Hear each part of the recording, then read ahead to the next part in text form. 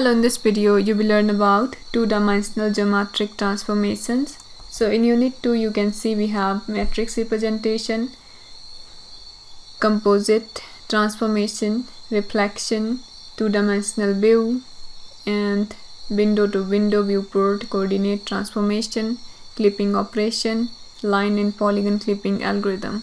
In this video we will cover only the basic about transformation so here two-dimensional shape means that has two dimensions like height and width.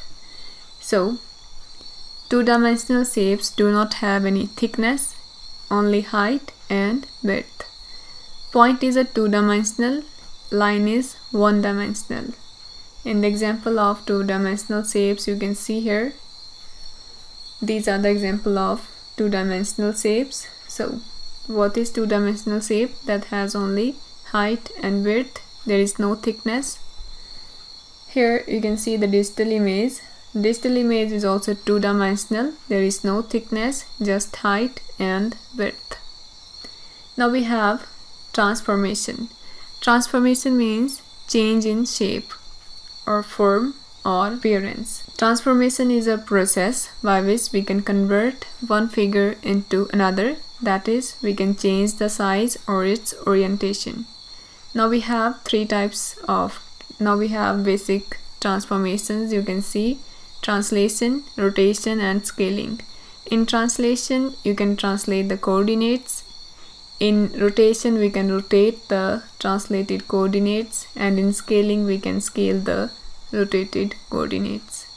That is in translation we can translate the distance and here we have angle and here we have scaling factor. Translation means object movement. That is we can move the object from one position to another. And the basic this is the basic transformation. Here we can move the object from one position to another on the screen you can move the object so how we can move the object in 2d space that is, we can add or subtract some value from x and y coordinates. Done. How we will do this? By adding or subtracting the values from x and y coordinates. Here you can see, to translate a two-dimensional point, you can add translation distance dx and dy to the original position. So here we are denoting the original position by x and y and the new position is x dash y dash.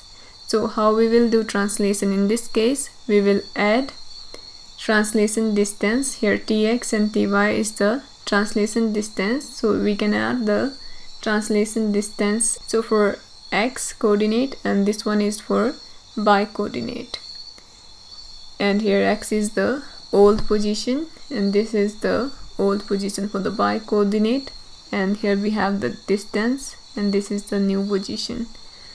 So you can see here for x new is x older position plus translation distance and y new can be computed as old position of the y coordinate plus translation distance suppose we have initial point here at p x and y. And this is the new position of this point after translation. For example you can see here this is the translation matrix. Here we have newer position that is older plus translation distance. For example you can see here we have coordinate that is at 3 3 so this point is at position 3 3 and we want to move this point. So how we can move? Old position plus translation distance. So add 3 plus 1 here older position is at 3 and the distance is 1 so we got another coordinate that is 0.44 now we have rotation. That is the next transformation. Rotation means we are we can rotate object at different angle from its origin. For the positive values for rotation we can define by using counterclockwise direction for the negative value clockwise direction. And here you can see that's the original point and that's the point after rotation. And you can see here for this shape we can do rotation like this here that's the original one and that's the rotated one. Next is scaling. Scaling means we can change the size of an object. You can expand or compress the dimension of the object. So what is scaling? Changing the size of an object. You can either compress or expand the dimension of the object. So how we can achieve this? By multiplying the coordinate value that is the original coordinate value of each vertex by the scaling factors. That's the coordinates values and we will multiply the coordinate value with the scaling factor sx and sy. Here you can see here you can change the size of the object from smaller to larger, larger to smaller.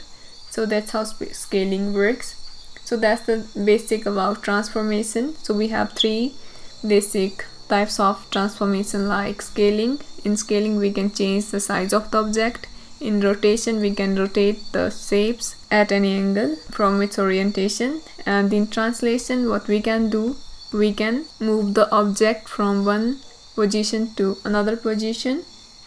Done. So that's just the short introduction about transformation.